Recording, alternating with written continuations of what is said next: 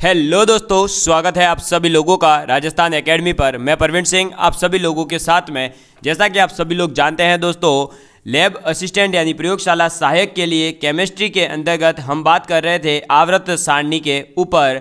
और आज हम बात करने वाले हैं आवृत सारणी का जो टॉपिक चल रहा था, उसी में हमने बात स्टार्ट कर दी थी। किसके बारे में दोस्तों? तत्वों के गुणों में जो आवृत्तिता यानी कि प्रोड्यूसिटी इन प्रॉपर्टीज़ ऑफ़ एलिमेंट्स ठीक है? और तत्वों की गुणों में आवृत्तिता के अंतर्गत हम पढ़ रहे थे सबसे पहले प्रमाणवीय त्रिज्या के बारे में। और प्रमाणवीय त्रिज्या के तीन भाग मैंने आपको बता दिए थे कि सहसंयोजक त्रिज्या यानी कि आपकी कोवेलेंट रेडियस क्या होती है धात्विक त्रिज्या क्या होती है, वांडरवाल त्रिज्या क्या होती है, और ये भी बताया था कि वांडरवाल त्रिज्या जो है केवल उत्कृष्ट गैस के परमाणुओं में ही पाई जाती है, क्योंकि उत्कृष्ट गैसों के परमाणुओं में ही रासायनिक बंध नहीं होता है, इसलिए, ठीक? फिर मैंने इनके लंबाई के आधार पर जो त्रिज्याओं का घटता क्रम था, वो भी लिखवा दिया था। तो सबसे बड़ा कौन था? वांडरवाल त्रिज्या, फिर आपकी धात्विक त्रिज्या और फिर आपकी जो है परमाणविक त्रिज्या। इन सभी के बारे में हम बात कर चुके थे। आज हम बात करने वाले हैं परमाणु त्रिज्या को जो प्रभावित करने वाले कारक है, यानी कि आपके फैक्टर्स अफेक्टिंग एटॉमिक रेडियाई ठीक है? चलिए तो आप लिखेंगे दोस्तों अब परमाणु त्रिज्या को परमाणु त्रिज्या को एक सेकेंड परमाणु त्रिज्या को प्रभावित करने वाले परमाणु त्रिज्या को प्रभावित करने वाले करने वाले कारक। ठीक है? तो परमाणु त्रिज्या को प्रभावित करने वाले कारक कौन कौन से हैं? तो पहला आ जाएगा दोस्तों आप लोगों के कौन सा? प्रभावी प्रभावी नाभिकीय आवेश। कौन सा आ जाएगा पहला? पहला आ जाएगा प्रभावी नाभिकीय आवेश। ठीक है? तो चलिए, अब बात करते हैं प्रभावी नाभिकीय आवेश के बारे में, यानी कि effective nuclear charge effective nuclear charge के बारे में हम बात करने वाले हैं। तो प्रभावी नाभिकीय आवेश होता क्या है? प्रभावी नाभिकीय आवेश का मतलब है दोस्तों, नाभिक के द्वारा, जो नाभिक है, यानी न्यूक्लियस है, उसके द्वारा बाह्यतम कोष में उपस्थित जो इलेक्ट्रॉन है उसके ऊपर अपनी ओर से कितना आकर्षण लगाया जा रहा है, यानी कितना अट्रैक्शन लगाया जा रहा है, उससे जो है दोस्तों हम क्या कहते हैं, प्रभावी नाभिकीय आवेश कहते हैं, यानी उसके ऊपर जो है न्यूक्लियस का कितना प्रभाव है बाह्यतम कोष पे जो इलेक्ट्रॉन उपस्थित है, उस पर नाभिक का कितना प्रभाव है, उस प्रभाव को ही हम कहते हैं प्रभावी नाभिकीय आवेश। तो आप इसके अंदर लिख लीजिए, नाभिक द्वारा बाह्यतम बाह्यतम कोष के इलेक्ट्रॉन को, बाह्यतम कोष के इलेक्ट्रॉन को अपनी और अपनी और आकर्षित करना प्रभावी नाभिकीय प्रभावी नाभिकीय आवेश कहलाता है। समझ में आ गई बात? तो नाभिक द्वारा बाह्यतम कोष के इलेक्ट्रॉन को अपनी ओर आकर्षित करना प्रभावी नाभिक के आवेश कहलाता है। और इसे जो है दोस्तों, इसे जेड इफ़ेक्टिव, किससे? जेड इफ़ेक्टिव से व्यक्त या प्रदर्शित करते हैं, से व्यक्त करते हैं। क्लियर है बात? समझ में आ गई? तो नाभिक के द्वारा बाह्यतम कोष के इलेक्ट्रॉन को अपनी ओर आकर्षित करना प्रभावी नाभिक के आवेश कहलाता है और इसे जेड इफ़ेक्टिव के द्वारा आप जो है व्यक्त करोगे। तो सर, ये जेड इफ़ेक्टिव तो हमने समझ लिया, लेकिन ये जेड इफ़ेक्टिव और परमाणु त्रिज्या का क्या लेना देना है? तो इन दोनों के बीच में जो रिलेशन होता है, वो रिलेशन हमें याद रखना है और वो रिलेशन मैं आपके सामने लिखवा रहा हूँ। वो रिलेशन होता है आपके परमाणु त्रिज्या जो होती है दोस्तों आपकी। क्या? परमाणु त्रिज्या। ये जो परमाणु त्रिज्या होती है, ये इन्वर्सली प्रोपोर्शनल होती है, यानी कि व्युत क्रमानुपाती होती है। किसके? जेड इफ़ेक्टिव के। समझ में आ गई बात? ये चीज़ ज़रूर याद रखना, क्योंकि क्वेश्चन में तो यही चीज़ हमारे काम आने वाली है। समझ में आ गई बात? तो जेड इफ़ेक्टिव के इन्वर्सली प्रोपोर्शनल होती है क्या? अरे जेड इफ़ेक्टिव के इन्वर्सली प्रोपोर्शनल क्या होता है? परमाणु त्रिज्या या परमाणु त्रिज्या के इन्वर्सली प्रोपोर्शनल होता है जेड इफ़ेक्टिव यानी परमाणु त्रिज्या अगर बढ़ रही है तो जेड इफ़ेक्टिव घटेगा। जेड इफ़ेक्टिव बढ़ रहा है तो परमाणु त्रिज्या घटेगी। ये बात आपको याद रखनी है और यही रिलेशन जो है डायरेक्ट आपसे एग्ज़ाम में पूछा जाता है कि निम्नलिखित में से कौन सा सत्य है? तो वहाँ लिख के दे देगा, परमाणु त्रिज्या ना प्रभावी नाभिक के आवेश के व्युत्क्रमानुपाती होती है, समानुपाती होती है या इस रेशियो में होती है तो ऐसे में आपको याद होना चाहिए कि व्युत्क्रमानुपाती होती है। चलिए नेक्स्ट आपका सेकंड पॉइंट आ जाता है कोष की संख्या, यानी एन ठीक है? तो कोष की संख्या, अब ये कोष की संख्या किस प्रकार से परमाणु त्रिज्या को जो है प्रभावित करेगी, यानी नंबर ऑफ़ सेल्स जो होगी, वो कैसे परमाणु त्रिज्या को प्रभावित करती है? तो आप लिखेंगे दोस्तों, आपके क्वांटम संख्या जो प्रिंसिपल क्वांटम संख्या थी एन या मुख्य क्वांटम संख्या, या कोष की संख्या वो एक ही होती है, ठीक है? तो कोष की संख्या, मुख्य क्वांटम संख्या या कोष की संख्या का मान मान बढ़ता है बढ़ता है तो बढ़ता है तो परमाणु परमाणु त्रिज्या का मान बढ़ता है। समझ में आ गई बात? तो एन का मान अगर बढ़ रहा है, यानी कोषों की संख्या बढ़ रही है तो परमाणु त्रिज्या जो है, वो भी बढ़ती जाएगी। इसका मतलब क्या हुआ? इसका मतलब हुआ कि परमाणु त्रिज्या, यानी कि एटॉमिक रेडियस परमाणु त्रिज्या जो है, वो डायरेक्टली प्रोपोर्शनल है। किसके? वो डायरेक्टली प्रोपोर्शनल है कोष की संख्या के। किसके डायरेक्टली प्रोपोर्शनल है? कोषों की संख्या के ये बात आप लोगों को याद रखनी है। समझ में आ गई बात? तो इसको भी जो है आप रेड कलर में कर दीजिएगा। एक मिनट रुकिए। पहले इसको हटा देते हैं। अब वापस से बना देते हैं। और ये जो रेड कलर में कर रहा हूँ, ये रेड जोन है, ये खतरनाक चीज़ें हैं, ये याद हो गई तो हमारा काम डायरेक्ट हो गया। ये थ्योरी में तो याद रखने की ज़रूरत भी नहीं पड़ेगी। चलो, थर्ड पॉइंट आपके आ जाता है दोस्तों। परमाणु त्रिज्या को प्रभावित करने वाला वो है आपका क्या? परिरक्षण प्रभाव या आवरण प्रभाव या इंग्लिश में कहता है अपन इसको सील्डिंग स्क्रीनिंग इफ़ेक्ट और ये बहुत ही ज़्यादा इंपॉर्टेंट कॉन्सेप्ट है। इसको पूरा समझना बहुत ज़रूरी है। ठीक है? तो आप लिखेंगे परिरक्षण प्रभाव या आवरण प्रभाव। ठीक है? तो परिरक्षण प्रभाव या आवरण प्रभाव क्या होता है, उसके बारे में हम बात करने वाले हैं। अब इस परिरक्षण प्रभाव या आवरण प्रभाव को समझने के लिए मैं आप लोगों के सामने जो है, पहले एक छोटा सा डायग्राम बना रहा हूँ, बहुत ही शानदार तरीके से, जिससे कि आपको ये समझ आ जाए कि ये होता क्या है। ठीक है? चलिए तो अब जो है इसके सामने हम बना देंगे एक, मान लो ये कक्षा है, ठीक, इसको मैं थोड़ा सा घुमा देता हूँ। इधर से इधर से यूँ, और इधर से यूँ। ये इधर मान लो एक कक्षा है, और फिर इधर भी एक मान लो की कक्षा है, ठीक है? ये ऐसे ये ऐसे कक्षाएँ हैं, ये मान लो, ठीक है?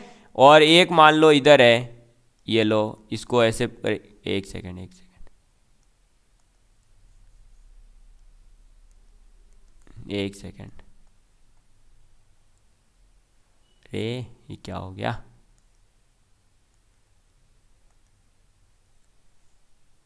अब इसको घुमाना है। हाँ ये देखो।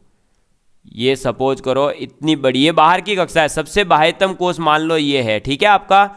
अब ये जो दोस्तों हमारे सामने बन रहा है ये क्या है? ये है न्यूक्लियस। तो इसको तो आप नाम दे दो नाभिक। क्या नाम दे दोगे? नाभिक। ठीक? अब पहली कक्षा में कितने इलेक्ट्रॉन होते हैं? दो। तो ये इधर मान लो दो इलेक्ट्रॉन है। ऐसे ही यहाँ भी कुछ इलेक्ट्रॉन्स होंगे। ये कक्षाएँ हैं तो। ठीक है तो इसमें ये इलेक्ट्रॉन बना दिए हमने। ठीक? ऐसे ही आपके यहाँ भी तो कुछ इलेक्ट्रॉन होंगे भाई। होंगे। तो ये बाईतम कक्षा थी तो यहाँ हमने मान लिया इलेक्ट्रॉन है।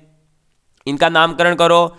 ये जो कक्षा है, ये बाह्यतम कक्षा है। कौन सी कक्षा है? बाह्यतम कोष है। समझ में आ गई बात? ये बाह्यतम कोष है और ये जो दोनों है, ये आंतरिक कोष है। ये क्या है दोनों के दोनों? आंतरिक कोष हैं। क्योंकि भाई अंदर के है ना, बाह्यतम से तो थोड़ा अंदर है तो इनको कहेंगे हम आंतरिक कोष ठीक है? चलिए। अब दोस्तों देखिए, क्या होगा कि हमारा जो ये नाभिक है ये तो क्या करेगा? इन इलेक्ट्रॉनों को अपनी ओर आकर्षण करेगा। तो इन इलेक्ट्रॉनों का तो अपनी ओर आकर्षण करवा दीजिए और इसको तो हम करवाते हैं आकर्षण को पीले कलर से, ठीक है? ये देखो, ऐसे ये तो करेंगे इसकी तरफ़, आकर्षण। ये मान लो ये इलेक्ट्रॉन इधर आना चाहता है। ऐसे ही ये भी जो है, इधर करेंगे आकर्षण। ये भी क्या करेगा इधर? आकर्षण। समझ में आ रही है बात? भाई, ये तो क्या करेंगे? आकर्षण रिप्रेजेंट करेंगे। क्यों? क्योंकि इलेक्ट्रॉन के ऊपर होता है नेगेटिव चार्ज। ठीक है? इन इलेक्ट्रॉन के ऊपर क्या होगा? नेगेटिव चार्ज होगा। जबकि आपका नाभिक जो है, वो होता है पॉजिटिव चार्ज वाला। तो वो क्या करेगा? इनको अपनी ओर अट्रैक्ट करेगा, आकर्षण करवाएगा। ठीक है? मान लो भाई, आकर्षण तो करवा रहा है। लेकिन दोस्तों, इस आकरण के आक्रम जो आकर्षण के साथ साथ अट्रैक्शन के साथ साथ आपका ये जो दोनों इलेक्ट्रॉन है इन दोनों इलेक्ट्रॉनों के बीच में क्या होगा? अरे, इन दोनों इलेक्ट्रॉनों के बीच में रिपल्सन होगा। ऐसे ही इन दोनों इलेक्ट्रॉनों के बीच रिपल्सन होगा। ऐसे ही इन दोनों इलेक्ट्रॉनों के बीच में क्या होगा? रिपल्सन होगा, यानी कि प्रतिकर्षण होगा। समझ में आ गई बात? तो क्या है? देखो, नाभिक है, ठीक है। उसके पास में कोष बने हुए होंगे। एक आपका कोष, फिर दूसरा कोष, फिर तीसरा कोष, फिर ऐसे करते करते बाह्यतम कोष। अब जो नाभिक है, वो तो जितने भी कोष हैं, उन सभी में उपस्थित इलेक्ट्रॉनों को अपनी ओर आकर्षित करेगा, यानी उनका अट्रैक्शन तो किस तरफ़ होगा? नाभिक की ओर आकर्षण होगा। लेकिन दोस्तों, जो इलेक्ट्रॉन इलेक्ट्रॉन है, वो दोनों जो कोष के अंदर उपस्थित इलेक्ट्रॉन है, उनमें तो क्या होगा? रिपल्सन होगा या नहीं होगा? होगा ना। तो ये जो अट्रैक्शन और रिपल्सन हो रहा है दोस्तों मतलब हम ये कह सकते हैं कि किसी भी तत्व में जो आंतरिक कोष के इलेक्ट्रॉनों की स्थिति है, वो नाभिक तथा संयोजी इलेक्ट्रॉन के मध्य में आ जाती है। भाई, ये जो, देखो, ये वाले जो इलेक्ट्रॉन है, ये ये वाला इलेक्ट्रॉन, इस कोष के इलेक्ट्रॉन, ये सब किसके बीच है? नाभिक और जो आपका बाह्यतम कोष है, उसके बीच में आ चुके हैं। अब इनके बीच में आए हैं तो दोस्तों, जो संयोजी इलेक्ट्रॉनों का नाभिक से जो आपका पूरा का पूरा एक ये बन गया ना अट्रैक्ट जो गोले, देखो, घिर गया ना ये घेरा जो बना है, इसको हम कह रहे हैं नाभिक से परिरक्षण या आवृत होना। और जो ये आवरण बनता है, इस प्रभाव को ही हम क्या कह रहे हैं? परिरक्षण प्रभाव कह रहे हैं। समझ में आ गई बात? क्या कह रहे हैं? परिरक्षण प्रभाव कह रहे हैं। अब नाभिक जो है दोस्तों, उसमें उपस्थित नाभिक के आवेश जो है, अगर क्या होगा? धीरे धीरे दोस्तों नाभिक के आवेश के ऊपर जो अट्रैक्शन है, वो तो बाह्यतम कोष के इलेक्ट्रॉन के लिए कम होता जाएगा। जैसे जैसे इस नाभिक से दूर जाएँगे वैसे वैसे आकर्षण तो क्या होगा दोस्तों? कम होगा। लेकिन इसको दूर भगाने के लिए ये कोष जो है इलेक्ट्रॉन ये तो दूर भगा पाएँगे। तो ये जो आकर्षण और प्रतिकर्षण है, ये पूरा का पूरा प्रभाव जो कहलाता है उसे हम कहते हैं परिरक्षण प्रभाव या आवरण प्रभाव। क्या कहते हैं? परिरक्षण प्रभाव या आवरण प्रभाव कहते हैं। और जिस प्रकार से आपके आवरण प्रभाव में वृद्धि होगी वैसे वैसे परमाणु त्रिज्या का मान भी बढ़ता जाएगा। ठीक? तो मैं इसको पूरे को थ्योरी में नहीं लिखवा रहा डायग्राम के माध्यम से आप समझ सकते हो। और अब मैं केवल आपको लिखवा रहा हूँ कि परिरक्षण प्रभाव परिरक्षण प्रभाव इज़ डायरेक्टली प्रपोर्शनल टू परमाणु त्रिज्या। ठीक है? ये बात आपको याद रखनी है कि जिस प्रकार से आपके परमाणु त्रिज्या में वृद्धि होगी वैसे वैसे परिरक्षण प्रभाव बढ़ेगा जैसे जैसे परिरक्षण प्रभाव बढ़ेगा वैसे वैसे आपके परमाणु त्रिज्या में वृद्धि होगी। क्लियर है इतनी बात? समझ में आ गई? चलिए। अब बढ़ते हैं हम। नेक्स्ट हमारे फोर्थ प्रभाव की ओर यानी फोर्थ कारक की ओर। और, और फोर्थ आ जाता है दोस्तों आप लोगों के लिए कौन सा? तो फोर्थ है बंद की संख्या। किसकी संख्या? बंदों की संख्या यानी कि आप ये कह सकते हो नंबर ऑफ़ बॉन्ड्स किसकी बात कर रहे हैं? अब हम नंबर ऑफ़ बॉन्ड्स की बात करने जा रहे हैं। तो नंबर ऑफ़ बॉन्ड से किस प्रकार हमारी परमाणु त्रिज्या प्रभावित होती है, वो हम लिखेंगे।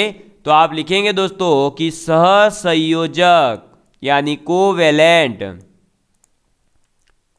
तो सहसंयोजक त्रिज्या। सहसंयोजक त्रिज्या बंधों की, यानी बॉन्ड्स की संख्या पर निर्भर। बॉन्ड्स की संख्या पर निर्भर करती है, ठीक है? तो सहसंयोजक त्रिज्या जो है, वो बॉन्ड्स कितने हैं? उनकी संख्याओं पर निर्भर करती है। और ये जो है दोस्तों, कैसे निर्भर करती है? तो ये वित्त कर्मानुपाती निर्भर करती है, यानी कि परमाणु त्रिज्या। परमाणु त्रिज्या अगर जो है दोस्तों, बढ़ती है तो बॉन्डों की संख्या क्या होगी? कम होगी। और अगर बॉन्डों की संख्या बढ़ रही है तो परमाणु त्रिज्या कम होगी। इसका मतलब क्या हुआ? अरे, इसका मतलब क्या हुआ दोस्तों? इस पॉइंट के कहने का मतलब है कि आप लोगों के अगर जो है दोस्तों, क्या होता है? अरे, इसका मतलब क्या है? इसका मतलब है, जहाँ ट्रिपल बॉन्ड होगा, वहाँ परमाणु त्रिज्या छोटी होगी, जहाँ डबल बॉन्ड होगा, वहाँ ट्रिपल बॉन्ड से ज़्यादा होगी, और जहाँ सिंगल बॉन्ड होगा, वह सबसे बड़ा होगा।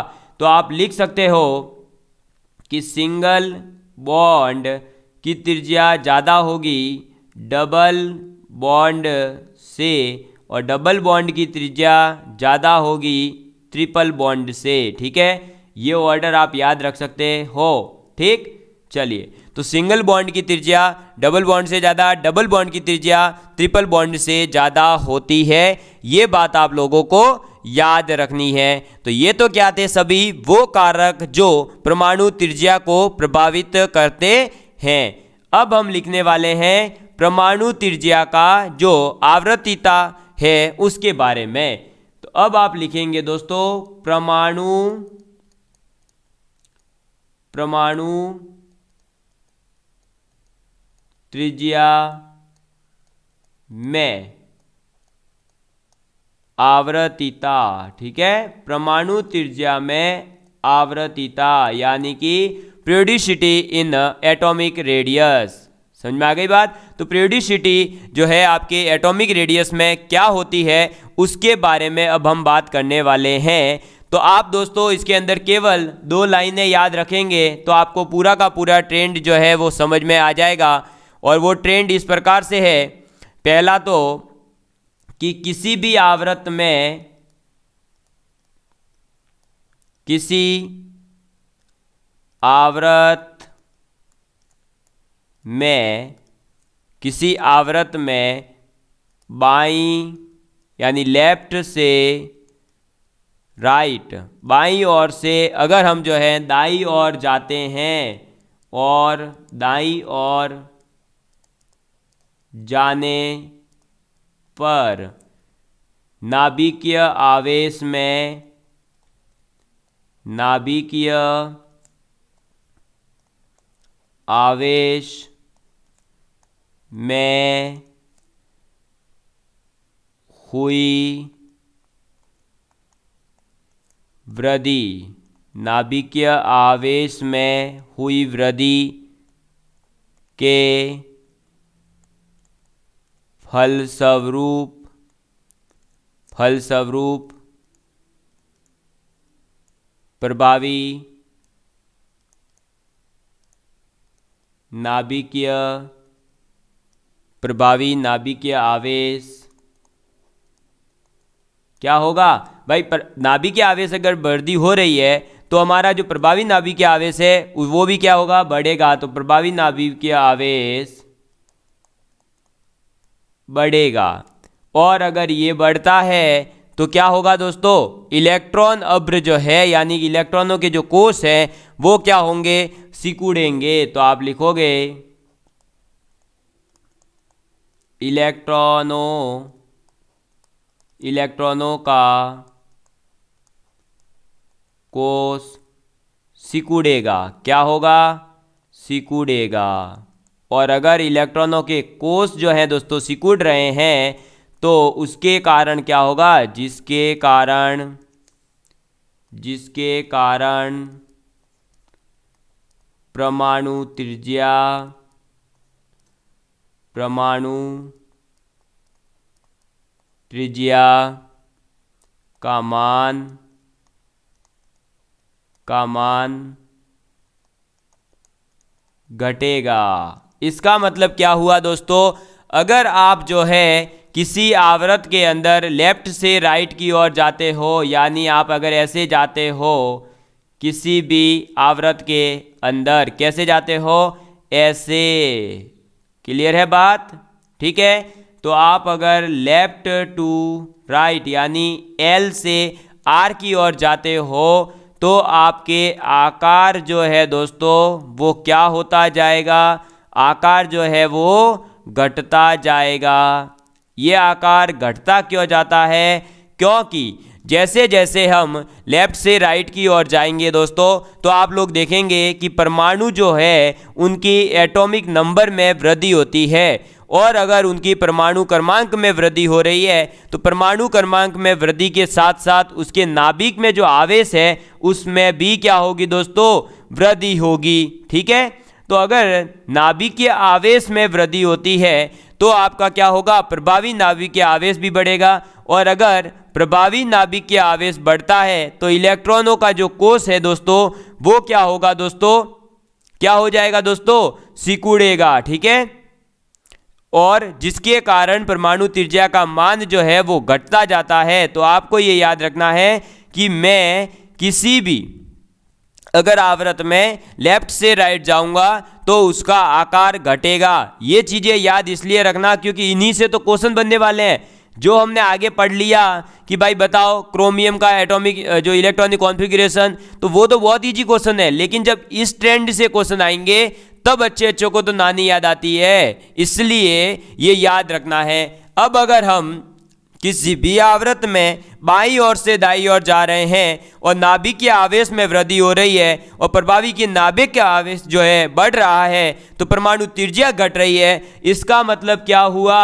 इसका मतलब ये हुआ कि आपके आवृत के अंदर सार धातु जो तत्व है, उनका आकार सबसे बड़ा होगा। और जो हेलोजन परमाणु है, क्योंकि सबसे राइट में कौन है? हेलोजन परमाणु है तो उनका आकार सबसे छोटा होगा। तो आप ये बात लिख लीजिए कि आवृत में आवृत में सार धातु सार धातु तत्वों का, सार धातु तत्वों का आकार सबसे बड़ा होता है, ठीक है? सार धातु तत्वों का जो आकार है, वो सबसे बड़ा होता है। और अगर वो सबसे बड़ा है तो इस अकॉर्डिंग हेलोजन जो है उनका आकार सबसे छोटा होता है, ठीक? तो हेलोजन परमाणु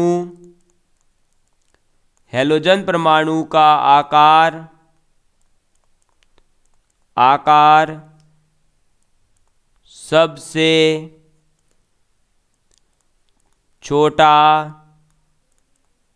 होता है। समझ में आ गई बात? ये बातें आपको याद रखनी है कि अगर आवृत में आप जो है, सबसे बड़ा आकार पूछा जाए तो सार धातुओं का होता है और सबसे छोटा आकार अगर आपसे पूछा जाए तो सबसे छोटा आकार होता है हेलोजन का। ठीक है?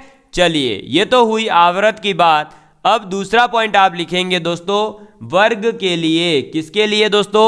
वर्ग के लिए। तो आप लिखिए, किसी भी वर्ग में, किसी भी वर्ग में ऊपर से नीचे, यानी हलीना की रबड़ी, सस्ती फ्री, बेटा मांगे कार, स्कूटर, बापू, राज़ी, बैंगन, आलू, गाजर, इन थेला, काशी गए, संत प्रभु वो ऐसे टीपो, फिर कल बार आई आंटी। हलीना, हीना, नेहा, आरती, करीना जीरन रिडोन, ये सब चीज़ें मैंने बताई थी ना तो इसमें अगर आप जो है, नीचे की ओर जैसे जैसे जाओगे, आकार क्या होगा, बढ़ता जाएगा। तो ऊपर से नीचे की ओर, ऊपर से नीचे की ओर आकार बढ़ता है। क्या होता है? परमाणु त्रिज्या, इसका मतलब बढ़ती है। आकार बढ़ता है मतलब परमाणु त्रिज्या बढ़ती है। क्यों बढ़ती है? क्योंकि मुख्य क्वांटम संख्या जो होती है एन उसका मान बढ़ता है, इसलिए, ठीक है? तो आकार बढ़ता है। तो मुख्य क्वांटम संख्या, यानी कि एन ठीक है? मुख्य क्वांटम संख्या का मतलब है एन का मान का मान बढ़ता है। और ये चीज़ मैं आपको बता चुका हूँ ना कि अगर कोषों की संख्या या मुख्य क्वांटम संख्या बढ़ेगी तो आकार बढ़ेगा। समझ में आ गई बात? लेकिन ये बढ़ता है तब क्या होता है दोस्तों? बाह्यतम जो इलेक्ट्रॉन है, बाह्य इलेक्ट्रॉन पर क्या हो जाएगा? नाभिक का, बाह्य इलेक्ट्रॉन पर नाभिक का आकर्षण, यानी कि अट्रैक्शन आकर्षण कम होता है, ठीक है? कम होता है। तो अगर आपसे पूछा जाए कि हम किसी वर्ग में ऊपर से नीचे की ओर जा रहे हैं तो ये बताओ कि परमाणु त्रिज्या क्या होगी? तो नीचे जाने पर परमाणु त्रिज्या तो बढ़ेगी, लेकिन परमाणु त्रिज्या के बढ़ने के साथ साथ क्या होगा? मुख्य क्वांटम संख्या का मान भी बढ़ेगा, और मुख्य क्वांटम संख्या के बढ़ने के साथ साथ ये ज़रूर होगा लेकिन कि नाभिक के साथ में जो बाहितम इलेक्ट्रॉन है, उनका अट्रैक्शन जो है दोस्तों वो क्या होता रहेगा? अट्रैक्शन कम होगा। ये बात आप लोगों को याद रखनी है। क्लियर है इतनी बात? ठीक है? चलिए तो बढ़ते हैं अब हम दोस्तों जो है आगे की ओर। और, और नेक्स्ट टॉपिक दोस्तों आपका है आयनिक त्रिज्या जिसके बारे में दोस्तों मैं अगली क्लास के अंदर बात करूँगा। क्योंकि अभी दोस्तों जो है आज क्या है? फ्राइडे और आप लोग जानते हैं कि सैटरडे और जो है आपका संडे को रहती है हमारी क्लासेस का ऑफ़ क्योंकि हमारा पूरा स्टाफ जाता है छुट्टी के ऊपर, ठीक है? तो इसलिए अब मिलेंगे हम मंडे को और तब तक जो है आप अपना सजेशन देते रहिएगा कि आप लोगों को और किस प्रकार की चीज़ों की ज़रूरत है, ठीक है दोस्तों? चलिए love you all of you and bye bye